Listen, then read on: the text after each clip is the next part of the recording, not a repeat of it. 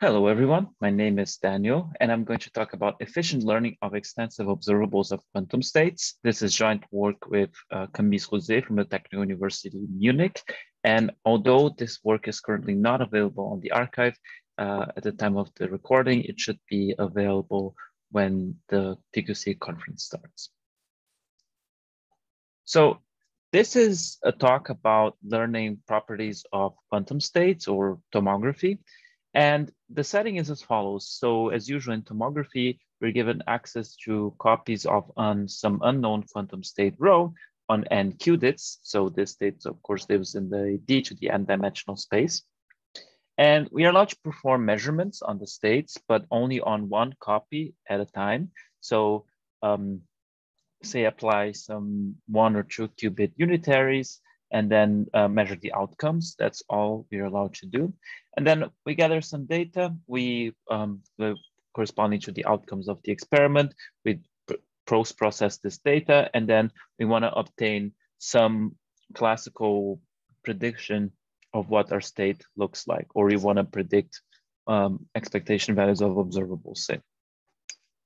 And of course, this is a widely studied problem. And some of the relevant quantities when studying this problem is the number of copies of the state you require for your procedure. This is the sample complexity.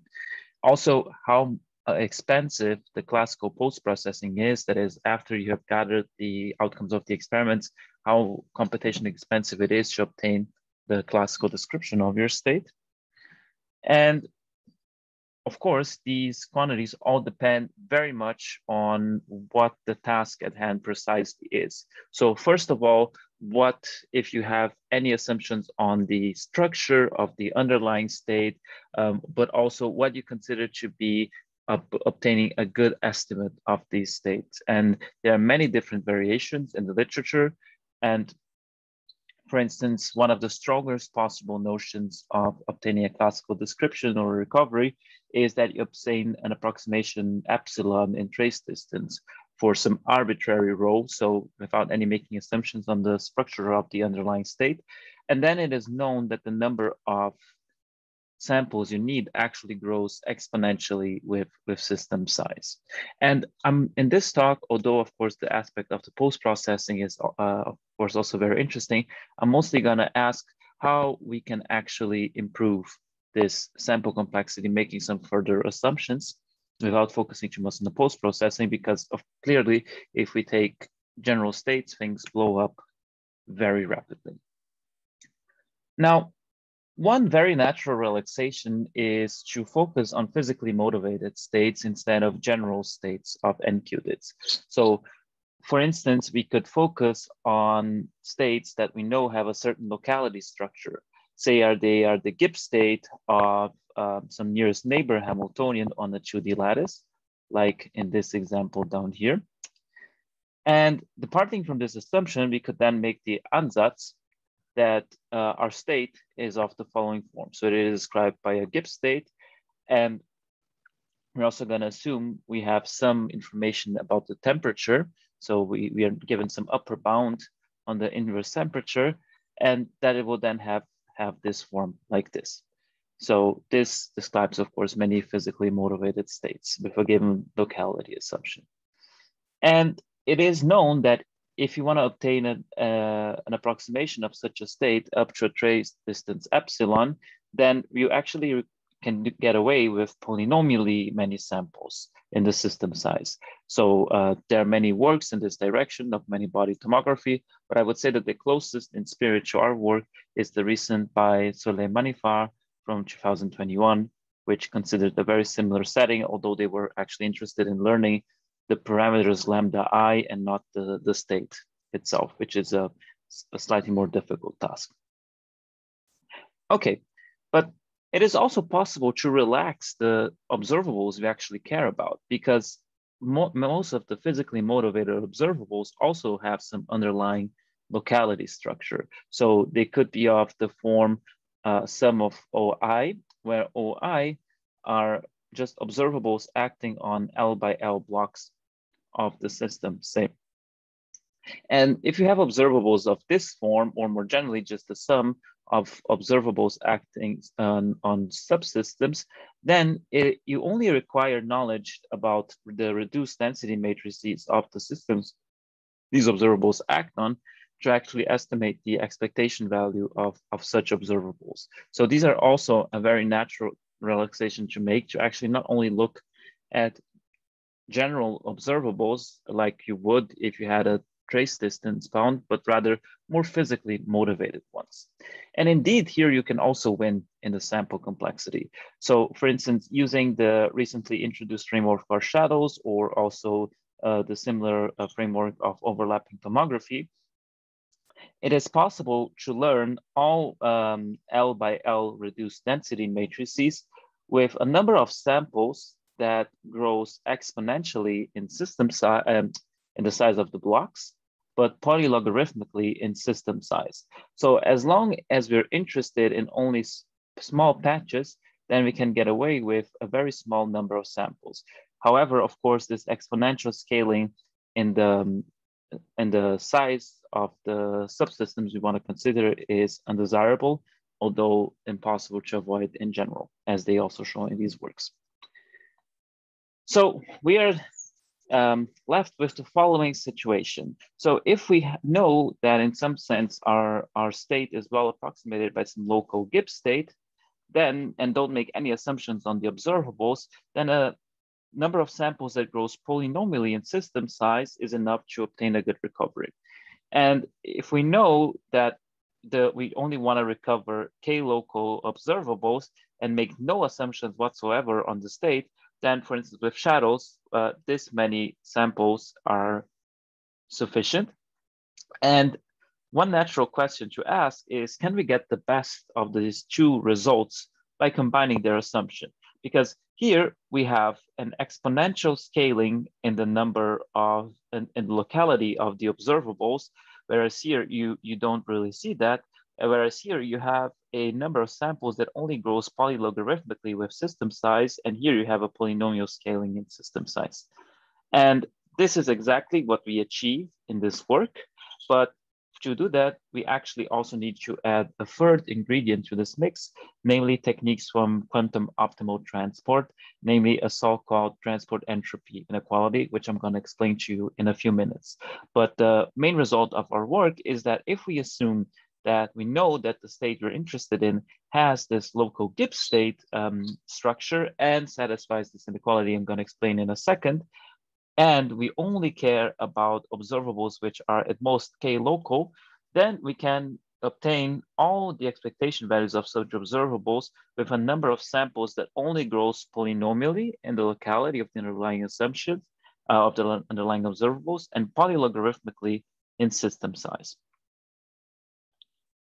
Okay, so in order to uh, introduce this inequality I mentioned before, I first have to define the so-called Lipschitz constant of an observable. And right now there are a couple of competing definitions in the literature, but I will uh, use the one by De Palma et al. Uh, because it's it's the simplest to grasp, although others have also some advantages and we use them in our paper as well. So Lipschitz observable uh, is defined as follows. We take an observable and we see how much the expectation value of that observable can change if we only uh, optimize over states that are the same once we trace out one site. Uh, and in some sense, this quantifies how stable an observable is to local perturbations. Because of course, uh, as these states are the same, if we trace out one site, this can only measure how, how much the, the observable can actually see this difference at one site. So just to illustrate the, the Lipschitz observable uh, constant of, of observables, um, notice uh, that if we consider the class of observables we considered before, then if we let the system size n be just proportional to L squared, the size of the blocks, so that is we have k of such blocks, it is easy to see by a triangle inequality that the operator norm will actually scale like system size over L to the minus two. However, if you look at the Lipschitz constant, then it will actually be of order square root of n. And why is that? Well, if we have two states that only are different, um, they are the same if we trace out one side, then this expectation value will only differ at the at one site where we have uh, one of these observables acting. And as they all have operator norm one, this is the maximum difference that we can actually expect. So we see that if we have a very local observable, then this Lipschitz norm can be much smaller than the operator norm. And in some sense, uh, the Lipschitz norm not only captures how stable a local uh, an observable is, but also how local it is. And what is nice is that this Lipschitz constant also behaves well under local time evolutions. So as De Palma shows in his um, original uh, article, and we also show, uh, if you take a family of, of quantum channels that satisfies a Lieb-Robinson bound, then this Lipschitz constant will not blow up for small times. Um, so in a nutshell, we have that the uh, observables with solid Lipschitz constant capture well local observables. The Lipschitz uh, constant, it only grows mildly if you apply short time local evolutions. So this clearly shows that extensive physical observables and uh, times local um, short time time evolutions thereof are well captured by observables with small Lipschitz norm. And thus, as this is very often the sort of observable we care about, we should also design specific uh, protocols that have this as a recovery guarantee in mind. Now, how do we actually formalize this? If you go back to, to, the, to the basics and look at one way of defining the trace distance, there is the so-called variation definition of the trace distance, which says that the trace distance between two uh, states is just the maximum difference uh, of expectation values on these states uh, with observables of norm at most one. And this motivates uh, the so-called Wasserstein distance of order one between two states, which is essentially the same, but now instead of having the Lipschitz, uh, the observables of bounded operator norm, we now optimize over all observables of bounded Lipschitz norm. So it essentially, this distance measures how distinguishable two states are under Lipschitz observables. And this is exactly the quantity we want to control because again, it measures how well um, we can approximate physically motivated observables on the state, not arbitrary observables, but it is a priori not clear how to actually control this distance and ensure that it is small. And now uh, these transportation entropy inequalities I mentioned before come into play. So uh, transportation entropy inequalities are widely studied in classical uh, probability theory and optimal transport and are also now finding uh, applications in quantum. And, um, and as SATE, sigma is said to satisfy such an inequality if for some constant alpha, this uh, Wasserstein distance of order one is actually controlled by the relative entropy between two states. And in some sense, you should think of this as a stronger version of Pinsker's inequality. So Pinsker's inequality tells us that the square root of the relative entropy always gives an upper bound on the trace distance. And this is structurally the same but we now have this extra parameter alpha and we have the Wasserstein distance between um, the two states instead of the trace distance. And uh, in the classical world, the most common application of such an inequality is to show Gaussian concentration inequalities, to show that essentially, um, if you have a Lipschitz constant, uh, if you have a Lipschitz function, then it will strongly concentrate around its mean if the underlying measure also satisfies a transportation entropy inequality. So that's a typical application. Um, variations of that are also known in the quantum case, but um, this will not be our focus in this talk. And I must say that we will be particularly interested in the case where this constant alpha, which uh, is in the underlying inequality, is of either constant order or of um, one over log system size order. Because although concentration inequalities are certainly very interesting, um, what is relevant to us uh, from this inequalities is that you can actually control the, the Wasserstein distance by the relative entropy, which is a quantity that is much easier to work with and to control. So of course, it is now natural to ask what are states that actually satisfy such inequalities, and uh, we this this is a still uh, this is a field still in its infancy, but we already have some non-trivial examples, such as uh, any uh, states uh, in 1D, also high temperature commuting Gibbs states in any dimension. And as we show in this work, uh, outputs of shallow circuits also satisfy this.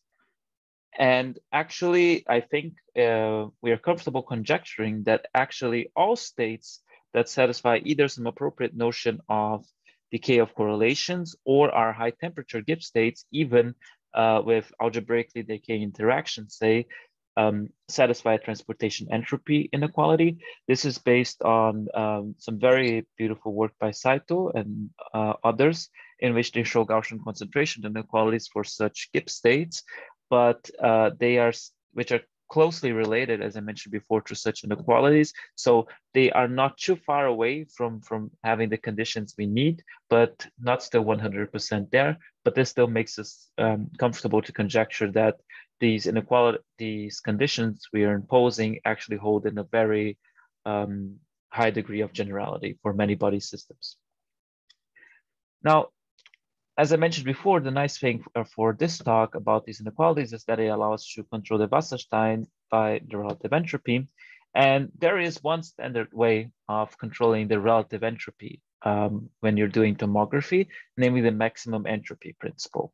So let us just quickly go back uh, and recall that um, our goal will be to learn some many-body state. And we know that it, it can be written off in, in this form over here, where these EIs are known. And we also have given an upper bound on, on beta. And the, the point is, again, not to learn the lambda i's as in some other recent works, but rather obtain a good approximation of the state they define. And there is this very nice identity um, that I don't know who was the first person to prove. I, uh, I it is also present in Soleimanifar's work. So if you denote by E lambda to be just a vector containing the expectation values of these local observables, then you can actually show that the symmetrized sum of the corresponding relative entropies of the Gibbs states is just given by this scalar product between the parameters of the underlying Gibbs states and their expectation values, and this uh, weighted by the, the inverse temperature. And in particular, this implies that if we have that the expectation values for these EIs, um, so the op operators and the exponents of the Gibbs states are close to each other, then a simple application of Hölderlin inequality also shows that this relative entropy is small. In particular, if we let them to be of order um, 1 over m, then this will be arbitrarily small, right? And note again that m is the number of, of terms we have in the exponent. But it is very natural to assume or that, or to expect actually, that if we have two quantum Gibbs states whose expectation values are close, then the underlying parameters must also be close. And this is actually non-trivial to show, but if we are also in this regime, so we actually um, can also infer from closeness of the expectation value, closeness of the parameters, then you actually get a better scaling in epsilon of, of this bound. So uh, instead of getting a linear in epsilon, you get quadratic in epsilon. Okay, now, how do we use these ideas to actually get um, to learn Gibbs state with very few samples? Well, um, assume that uh, we have two Gibbs states such that their relative entropy density is small. Okay, so you should think of epsilon of constant order here.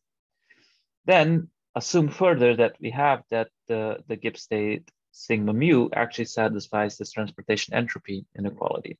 From this, we can then conclude that if we have O such that the, the Lipschitz norm of O is of order square root of n, then by just applying this variational definition of the Wasserstein distance, this will be, this quantity over here will be smaller than the Wasserstein uh, sorry, the Lipschitz constant of the observable, which is just uh, roughly speaking square root of n, times the square root of the relative entropy. And then we can, uh, um, by our by the fact that we are assuming that the underlying states actually satisfy transportation entropy inequality. So from this, we see that the the distance of of these expectation values is small, so of order uh, square root of epsilon times n over L to the minus two. And this will typically be a relative error for this observable O. Now, if we did not assume a transportation entropy inequality, this would be the same bound uh, and only had access to Pinsker, then we actually would need that the trace distance between the two observables is of order epsilon uh, to the one half. So instead of uh, working with the assumption that the two states have a small relative entropy density, the, the relative entropy has to be of order epsilon instead. So we see that a transportation entropy inequality actually allows us to, to get away with a smaller relative entropy, uh, larger relative entropy between these two states. Okay, and we conclude that the relative, all we need to aim for to obtain good recoveries for Lipschitz observables is a small relative entropy density. And there is a recipe to, to get this, as I mentioned before, namely the maximum entropy principle, because you can show that a Gibbs state actually solves the following convex optimization problem, where this is the partition function. And these here are the expectation values of the, the Gibbs state you're actually interested in. But of course, uh, it is not, uh, it will not be the case that we know these expectation values exactly. We will always only know them up to some error epsilon due to statistical fluctuations. However, if you instead solve the problem with the approximation you obtain up to some error epsilon, you can still ensure that the, uh, the state that solves this optimization problem will satisfy that the expectation values are most epsilon close to the true state. So with this, we can ensure that the, the distance between the vectors with the expectation values is small. Um, and once again, with some stronger assumptions on uh, convexity properties of the partition function, you can um, also obtain that whenever this condition holds, so the expectation values are close, the parameters are also close, which will give us um, stronger recovery guarantees in our algorithm. Okay, but now this um, implies that all we need to do is to learn the expectation values of these local observables up to some constant precision epsilon and then we can run maximum entropy and get a state with a constant, uh, with a small relative entropy density. If we then assume that all these EIs, again, the operators and the exponent of the Gibbs states are k-local, then with classical shadows, we can get all these expectation values with this many samples. And actually, we don't even need to use classical shadows. We just need to obtain estimates of these quantities up to uh, a precision epsilon. But the point is that whenever we have, say, a Gibbs state on a regular lattice, then the number of the EIs is actually of order n. So this over here, and k will be just a constant, right? So this term over here will just be epsilon to the minus 2 times some constant times log n. So putting everything together, if we all, instead of uh, wanting to obtain all Lipschitz observables with Lipschitz norm one, we wanted R, right? Then we need this many samples to obtain a good recovery. And with respect to shadows, this is an exponential improvement because as we saw before, this R over here is in some sense a measure of the locality of the underlying observable. But now this is a polynomial dependency in the locality of the underlying observables, whereas in the for by only using shadows, we got an exponential dependency. And this is an exponential improvement over previous many-body learning promise, uh, um, promises because now the dependency on system size is logarithmic instead of exponential. Okay, so I think there's still a lot to uncover uh, based on this work. So, but I think we are very happy to have found some applications of these quantum optimal transport techniques to um, learning quantum Gibbs states. But, and I believe that um, these quantum optimal transport methods will certainly find many other applications in the near future. Um, of course, the big question op left open by our work is, does this hold, this transportation entropy inequality, does this hold for um, a larger class of systems than what we know so far? And as I mentioned before, I think there is very strong evidence that this should be a very general phenomenon for high temperature many body states, even with long range interactions. it would certainly be nice to establish that. This, um, moreover, it would be nice to actually obtain similar results without having to solve a max entropy problem.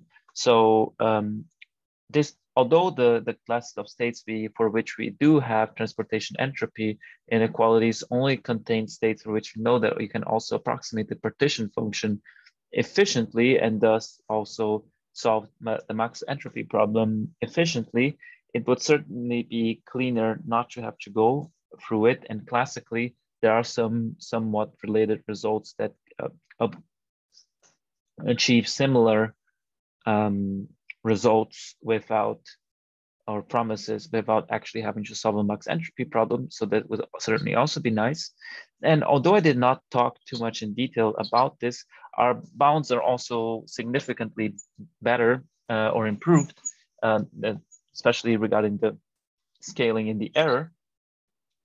If on top of knowing that the state satisfies a transportation entropy, we know that the covariance matrix of the underlying Gibbs states um, actually have constant condition number or logarithmic, inverse logarithmic in system size um, condition number.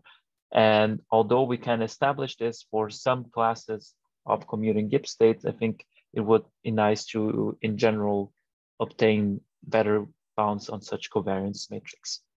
And with that, I would like to thank you for your attention and during the conference, be happy to take your questions.